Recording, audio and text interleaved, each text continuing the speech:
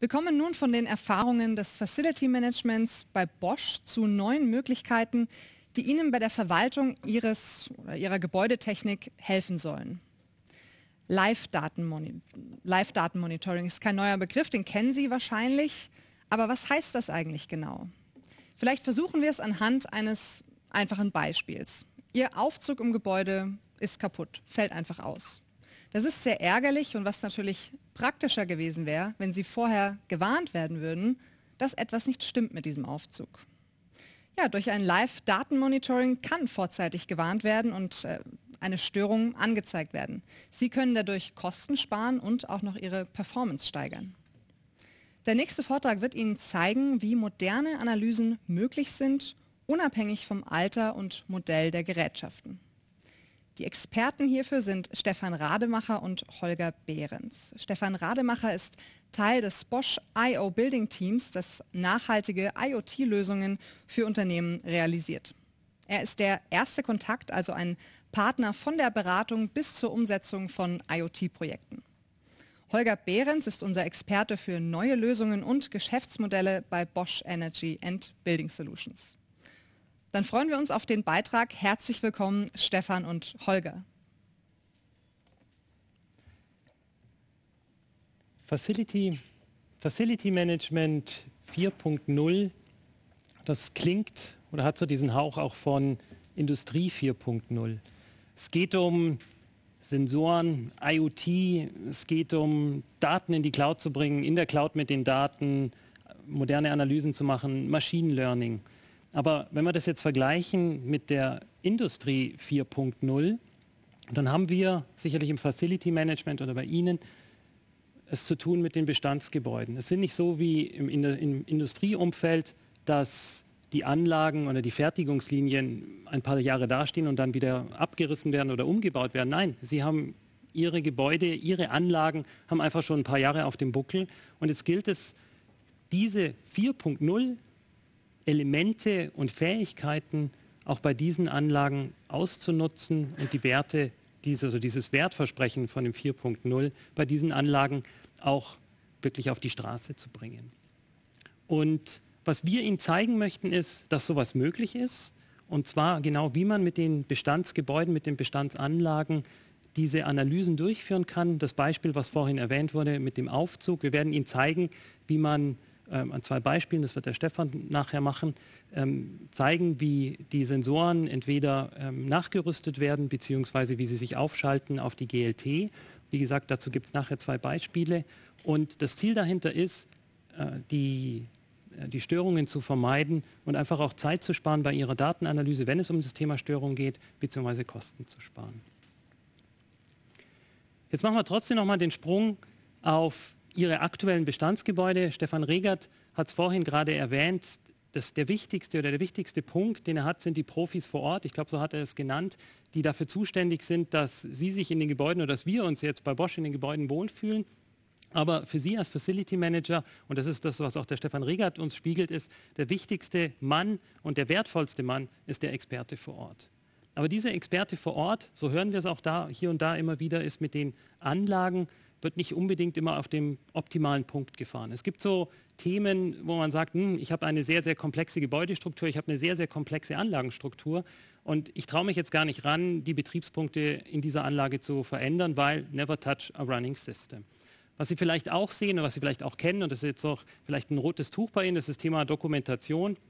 Sie haben erlebt, dass Ihr Vorgänger vielleicht nicht richtig dokumentiert hat oder selber sagen Sie, ich habe gar nicht die Zeit, bei all diesen Themen die Dokumentation sauber nachzuführen. Und ein Punkt, der ja auch immer wieder hier ins Feld kommt, ist das Thema Fachkräftemangel. Wie kriege ich es denn hin, dass, meine, ähm, dass die jungen Leute einfach up to speed kommen, beziehungsweise vielleicht sind auch Sie so ein Experte, der nicht nur eine Liegenschaft hat, sondern mehrere Liegenschaften betreuen muss und damit auch den Überblick zu behalten, einfach weil es gar nicht die Leute gibt, die dieses Know-how haben, um die Liegenschaft, um die komplexen Systeme, die, dort, die dort vorhanden sind, im Detailgrad zu betreuen. Wie wollen wir das machen? Wie können wir Sie da unterstützen? Und ich möchte jetzt hier ein paar Hintergründe geben. ähm, was wir vorhaben oder was wir aktuell machen, ist, Ihnen Tools zur Verfügung zu stellen, dass Ihre Fachkräfte, Ihre Experten besser arbeiten können, sich Zeit sparen können bei der Datenanalyse. Und wie geht das Ganze vor? Das Ganze geht wie folgt vor. Das ist jetzt so ein IoT-Stack. Sie brauchen erstmal die Sensordaten. Wichtig ist, dass wir die Daten haben, dass wir sie verarbeiten können. Und wie schon erwähnt, geht es darum, entweder sich aufzuschalten auf die GLT. Das sind die einschlägigen Protokolle, BACnet, Modbus, KNX oder wo es dann drauf ankommt, das ist nicht das Ziel, es immer zu machen, aber da, wo es dann drauf ankommt, Sensoren nachzurüsten. Über Gateways, wir hatten es auch bei der Energy-Plattform da schon ein paar Hinweise von, kommen die Daten dann in die Cloud und in der Cloud spielt dann die Musik. Und wenn ich jetzt gerade sage, da spielt die Musik, vorhin wurde es erwähnt, es, es sind die BIM-Modelle, aber was ist das jetzt genau? Ähm, es geht darum, die Anlagenstruktur, die Anlagentopologie abzubilden, diese Verständnisse, wie diese Anlage auch im Gebäude ist, also die Verzahnung hinzubekommen, wie diese Anlage im Gebäude arbeitet, wie sie dort aufgebaut ist, um dann auch die Besonderheiten des Gebäudes in die Analysen mit einfließen lassen zu können. Also genau diese Verzahnung ist es, was hier den Wert macht. Das ist so, ja, wir nennen es Digital Twin, das ist so dieses Buzzword dazu. Und hier steht es mit Raum- und Anlagenmodellen. Und genau diese Verzahnung hilft uns und hilft der Analyse, Besonderheiten herauszurechnen und zu analysieren, Insights, wie wir sie nennen, die vielleicht nicht mit einem speziellen Punkt in der Anlage zusammenhängen. Es mag ja sein, dass in einem Lüftungssystem vielleicht die Ursache für eine Störung viel, viel weiter vorne ist in den Zuführkanälen. Und um diese Sachen zusammenzubringen, ist es notwendig, diesen Digital Twin zu haben. Und das ist die Grundlage, um dann diese Analysen, diese Insights für Sie aufzubereiten und als transparente plastische Hinweise zu geben, wo Sie sagen können, okay, damit kann ich arbeiten, jetzt bekomme ich an der Stelle ist was kaputt, hier muss ich eingreifen, hier muss ich einen Servicetechniker holen. Also genau diese Reihenfolgen sind entscheidend, um Ihnen dann die Arbeit zu vereinfachen und auch eine Transparenz darzustellen. Ich glaube, das wichtige Wort ist an der Stelle wirklich die Transparenz, dass auch Sie verstehen, als Experte verstehen, wo ist es denn, wo ist denn die Ursache davon, um die richtige Ableitung davon zu machen. Was Sie jetzt hier auf dem Bildschirm sehen, ist ein Überblick von den ganz klassischen Smart Building Use Cases, Anwendungsfällen, die wir anbieten und was wir jetzt, um hier Ihnen eine, ein bisschen weiteres ähm, ja, Demonstration zu geben, und das heißt ja auch Live-Datenmonitoring, möchten wir zwei von denen herausgreifen. Das ist einmal der Lift Manager und der andere Use Case ist HVAC Systems Insight. Also es geht darum, die Analyse von Klimaanlagen, Heiz- und Klimaanlagen. Und dieses, diese Demonstration wird der Stefan jetzt für Sie vornehmen. Ja, Holger, ähm, vielen Dank ähm, für das Intro. Ähm, wie Holger schon gesagt hat, wir werden uns jetzt eben ganz konkret einmal zwei Beispiele anschauen, wie denn so eine Lösung funktionieren kann. Und zwar an dem Beispiel von Aufzügen und äh, Klimaanlagen. Und dafür machen wir jetzt mal ähm, ein, eine kleine Reise nach äh, Singapur und zwar ähm, in unseren Campus dort. Und äh, was Sie äh, hier eben schon sehen, ist ähm, eine, ähm, eine Live-Umgebung äh, von diesem Campus. Ähm, wir sehen, es laufen eben verschiedene Messwerte von diesem Gebäude hier ein. Und wir sehen hier zum Beispiel schon, ähm, wie voll die Kantine gerade ist, ähm, wie viele Leute sich im Fitnessstudio befinden oder eben auch, welche Parkplätze sind jetzt frei oder wie viele sind eben gerade belegt. Was uns jetzt hier aber interessiert, ist eben das Thema Aufzüge. Und ähm, bei ähm, den Aufzügen ist es ja eben so, dass ähm, ja, ich oftmals eben äh, viele ähm, verschiedene ähm, Aufzüge verschiedener Hersteller habe in unterschiedlichen Gebäuden, was einfach die Wartung und das Management dieser Aufzüge ähm, sehr, sehr komplex macht. Und ähm, am Ende bekomme ich wahrscheinlich als äh, Facility Manager ähm, den Anruf oder die E-Mail erst, wenn es zu spät ist, das heißt, wenn der Aufzug schon ausgefallen ist. Und ähm, genau dafür haben wir eben mit unserem ähm, Partner TÜV Süd als Aufzugsexperten eine Lösung entwickelt, die es eben möglich macht, ähm, verschiedene Messwerte ähm, vom Aufzug ähm, zu erfassen, diese zu analysieren und eben zu verhindern, dass der Aufzug überhaupt erst ähm, ausfällt. Das heißt, ich gebe dem Facility Manager ein Tool an die Hand, wo er genau sieht, welcher Aufzug hat gerade ein Problem und kann eben früh genug eingreifen, um zu verhindern, dass der Aufzug ausfällt. Ähm, hier sehen wir jetzt auf dieser Karte eben unseren Standort ähm, in Singapur. In dem Fall ist es eben nur ein Gebäude. Ähm, man könnte das natürlich jetzt hier ewig ausweiten und ähm, verschiedene Gebäude auch zeigen. Und wir sehen hier eben schon ähm, ganz ähm, in einer kurzen Übersicht, ich habe hier drei Aufzüge, die in diesem Gebäude eben angebunden sind. Und es sieht so aus, dass alle drei Aufzüge eben irgendein Problem hat, haben. Und ähm, genau das ähm, möchte ich mir jetzt natürlich mal im Detail anschauen. Wir sehen hier eben eine Übersicht über die drei Aufzüge, das heißt, ähm, wo sind diese Aufzüge, in welchem Gebäude, ähm, den Hersteller und eben hier schon ähm, erste Indikationen dar darüber, dass hier gewisse Meldungen eben vorliegen dass irgendwas in diesen Aufzügen nicht stimmt. Ähm, zusätzlich dazu habe ich hier eben ganz rechts den sogenannten RTD-Wert. Das ähm, steht für ähm, Remaining Time to Downtime. Und hier ist es eben so, dass die Lösung vorhersagt, wann der äh, Aufzug voraussichtlich ähm, ausfallen wird. Das heißt, in welchem Zeitraum. In dem Fall ist es jetzt hier eben ein, ein rotes Ausrufezeichen. Das bedeutet, dieser Aufzug wird voraussichtlich innerhalb der nächsten fünf Tage ausfallen. Ähm, das heißt, ich habe hier ähm, schon eine erste Indikation, wie dringend ich hier überhaupt eingreifen muss ähm, in meine Aufzüge.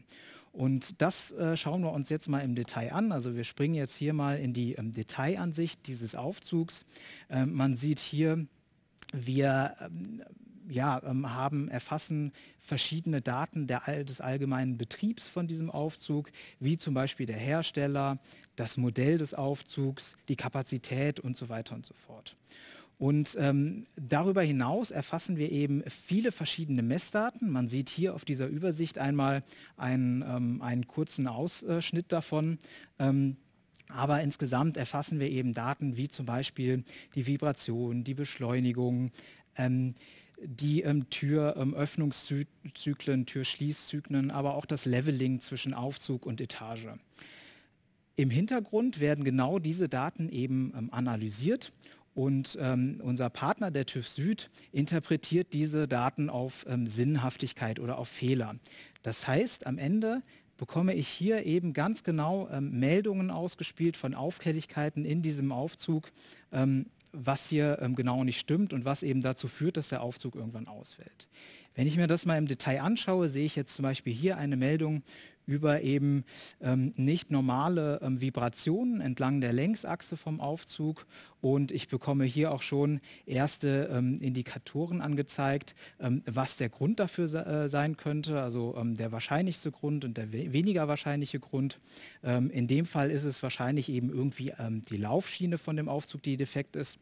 Und Zusätzlich bekomme ich hier eben entsprechend schon Handlungsempfehlungen angezeigt, die ich befolgen kann, um eben dieses Problem jetzt zu beheben. Das heißt, ähm, am Ende ähm, verbessern wir äh, mit, diesem, mit dieser Lösung eben die Sicherheit vom Aufzug. Wir sorgen dafür, dass er, gar nicht erst ähm, ausfällt und dadurch ähm, sparen wir uns natürlich eben einerseits ähm, Kosten ein, ähm, dadurch, dass wir weniger weniger Ausfälle im Aufzug haben und eben auch dadurch weniger spontane Wartungskosten. Das Ganze kann man sich eben jetzt ähm, auch ähm, bei dem Thema Klimaanlagen ähm, anschauen. Ähm, und da gehen wir jetzt hin und jetzt äh, machen wir einen größeren Sprung von äh, Singapur nach äh, Phoenix in die USA ähm, zu ähm, dem Bürogebäude von Climatech in dem Fall. Und wir sehen hier schon ähm, schön, dass dieses Bürogebäude eben in unterschiedliche Bereiche unterteilt ist und ähm, diese Bereiche eben von einer Klimaanlage versorgt werden. Bei einer Klimaanlage ist es ja ähnlich wie beim Aufzug eben so, dass ich zwar von außen sehen kann, funktioniert diese Klimaanlage einwandfrei und, ähm, und ähm, versorgt sie die Räume mit Luft, aber vielmehr auch eigentlich nicht. Denn was ich nicht äh, sehen kann, ist, ich kann nicht in das Innere dieser Anlage sehen. Ich, ich kann nicht sehen, ähm, läuft diese Anlage vielleicht nicht zu 100 Prozent effizient oder strömt irgendwo Luft, wo sie nicht strömen sollte und habe ich dadurch eben ähm, ja, einen unnötigen Energieverbrauch, den ich vermeiden kann. Und genau ähm, das macht diese Lösung. Ähm, wir sehen eben hier auf ähm, dieser Übersicht, dass wir ähm, einerseits eben ja ganz allgemeine Betriebsdaten erfassen, ähm, wie zum Beispiel ähm, ja, Gebäudekomfortdaten, Temperatur, Luftdruck etc. und aber auch eine Übersicht über eben den, den Aufbau dieser Anlage mit seinen ähm, Einzelheiten zeigen. Und das wirklich Spannende ist eben hier unten eine Liste an sogenannten Insights, ähm, das heißt Auffälligkeiten, die wir jetzt in dieser Anlage entdeckt haben. Und das wollen wir uns jetzt mal im Detail ansehen und ähm, sehen hier eben, wir haben eine Luftklappe, die ähm, anscheinend eine Leckage hat. Das heißt, ähm, es strömt eben hier irgendwo Luft, wo keine Luft strömen sollte. Ähm, und wenn ich mir das hier ähm, anschaue, sehe ich eben einerseits ganz genau, wo ist jetzt das Teil, was diesen Defekt hat. Das heißt, ähm, ähm ich sehe hier, da wird der Raum A106 angesteuert ähm, und ähm, dieser, ähm, diese Luftklappe hängt eben an der Luftverteiler, am Luftverteilergebilde AHU A2. Und ich sehe eben hier schon, was bedeutet das für mich. Also das heißt, ähm, hier ist eine Leckage vorhanden, das heißt, ähm, äh, es fließt irgendwo oder strömt irgendwo Luft, wo eigentlich keine Luft strömen sollte. Ähm, das heißt, ich ähm, verbrauche unnötigerweise Energie, denn ähm, dort sollte die Anlage eben nicht laufen. Und ich bekomme hier, ähm, wie eben auch schon gezeigt, konkrete Handlungsempfehlungen, was ich jetzt machen kann, um dieses Problem zu beheben. Wie erkennen wir jetzt, dass da wirklich eine ähm, Leckage ist? Ähm, das, ist ähm, das funktioniert so, dass wir eben verschiedene Messdaten aus ähm, dieser Anlage erfassen. Also zum Beispiel äh, Lufttemperatur, ähm, Luftdruck, ähm, aber auch gewisse Daten ähm, von der Anlage selber, ähm, Luftstromdaten ähm, und vieles mehr. Wir analysieren diese Daten im Hintergrund und überprüfen die Kombination dieser Daten auf ihre Sinnhaftigkeit. Das heißt, ganz einfach gesagt, wenn ich quasi sehe, dass ein, eine Luftklappe in dem Fall zu 100 Prozent eigentlich geschlossen sein sollte und es strömt irgendwo trotzdem Luft, dann weiß ich eben, da muss eigentlich eine Leckage sein. Das heißt, ähm, da strömt Luft, wo keine Luft strömen sollte und ich verbrauche unnötig Energie. Das heißt zusammengefasst, ähm, wir ermöglichen es mit dieser Lösung, eine ähm, Klimaanlage eben sehr viel effizienter und besser zu handeln wir reduzieren die Kosten dadurch, dass wir eben unnötigen Energieverbrauch ähm, aufdecken und einsparen. Und wir ähm, machen diese Anlage natürlich auch nachhaltiger und umweltfreundlicher am Ende. Genau, das äh, war es an der Stelle erstmal äh, zu ähm, dem, den Live-Demos ähm, von den Aufzügen und vom, von der ähm, Klimaanlage. Und jetzt übergebe ich wieder an meinen Kollegen ähm, Holger, der einfach nochmal die Hauptbenefits von diesen Systemen zusammenfassen wird. Ja, ich denke, es sind zwei wirklich schöne Beispiele für vorausschauende Wartung. Und auf das kommt es uns hier eigentlich besonders drauf an. Es macht es transparent, wie das System funktioniert. Was ist denn gerade los mit dem System? Und Sie bekommen den Überblick. Ja? Wir haben ja gesagt, ganzheitlicher Überblick. Warum brauche ich den Überblick? Damit Sie vor Ort eine Entscheidung treffen können. Dass Sie diese Entscheidung was gilt es denn jetzt zu tun? Und nicht lange Zeit damit verbringen, sich in irgendwelche Menüs zu klicken und herauszufinden, oh, ist jetzt dieses oder jenes System, ist es jetzt vielleicht dieses oder jenes Bauteil, die klare Aussage dazu, es ist eine Vibration, wie es beim, beim Liftmanager der Fall war und dann auch die Handlungsempfehlung dazu. Dann wissen Sie schon mal, was Sie zu tun haben. Dann können Sie darauf eingehen und ja, gibt Ihnen eine Richtung und wie gesagt, spart Ihnen Zeit, hilft Ihnen die Anlage natürlich damit zu optimieren. Sie reduzieren Ihre Stillstandszeiten. Das sind die ganz klassischen Themen, die bei der vorausschauenden Wartung natürlich gelten, was sich dann auch auf die Betriebskosten auswirkt. Was wir machen wollen und was wir deutlich machen wollen und dann nochmal den Bogen hin zurück zu den zwei Gebäuden, ähm, wo der Stefan vorhin die, die Demo gegeben hat. Das waren alles Gebäude, die schon ein paar Jahre auf dem Buckel haben. Also das heißt, das ist der Bestand. Es sind nicht mehr die neuesten Anlagen. Und wir haben hier unser System draufgeschaltet mit ja, ein paar, ähm, wie gesagt, auf die Gebäudeautomation bei, bei Climatech in dem Fall, beziehungsweise mit Sensorik beim Lift-Sensor, äh, beim Lift-Manager und ähm, konnten damit diese Analysetools, diese Analysetools, diese komplexen Sachverhalte durchgehen, durchspielen und dann für sie aufbereiten, ähm, anwenden.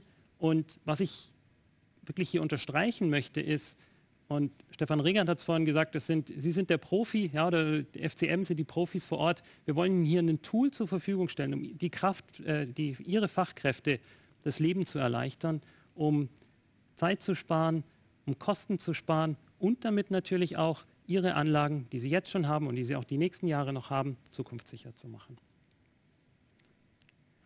Falls wir jetzt ein paar Anwendungsbeispiele, was Sie jetzt ein paar Anwendungsbeispiele gesehen haben, die Sie interessieren, muss ich euch sagen, ja, das wäre ein Thema, was bei uns vor Ort interessant ist, wo Sie einsetzen möchten, so würden wir uns freuen, wenn wir mit Ihnen in die Diskussion gehen könnten. Herzlichen Dank.